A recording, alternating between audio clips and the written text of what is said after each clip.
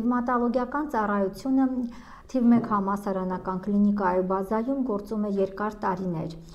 Դեռ պրոֆեսոր Այվազյանի օրոք ստեղծվել է բարբերական հիվանդության կենտրոնը, եւ մինչ օրը շարունակում ենք նման հիվանդների ընդունումը։ Այնուհետև ռևմատոլոգիական ծառայությունը մեծ զարգացում է ապրել Արտաշեսվիչ Բեգլարյանի ղեկավարության օրոք։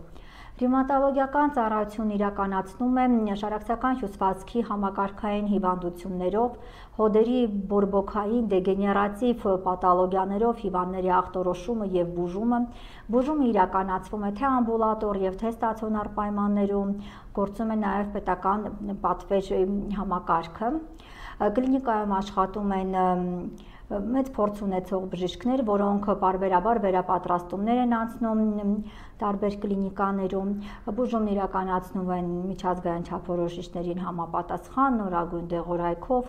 Մեր կլինիկայում արկա են բոլոր հետազոտման մեթոդները, որոնք անհրաժեշտ են ախտորոշել ռևմատոլոգիական հիվանդությունները։ Կլինիկան հանդիսանում է նաև ռևմատոլոգիայի ամբիոնի ուսումնական բազա, որտեղ իրենց նեղ մասնագիտացումն են անցնում ռևմատոլոգիայի ամբիոնի կլինիկական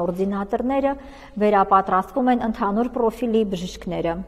զբաղվում են գիտական գործունեությամբ եւ կատարած աշխատանքները ներկայացնում են կոնֆերանսներին եւ միջազգային համաժողովներին։